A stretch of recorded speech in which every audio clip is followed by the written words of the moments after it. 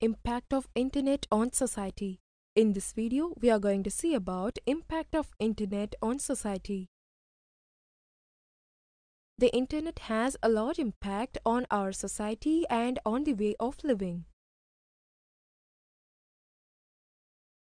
In some cases, using the Internet can save a lot of money and time. Shopping on the internet allows for instant price comparisons without leaving their homes. Relationships have changed based on internet access, email, chat, and instant messages.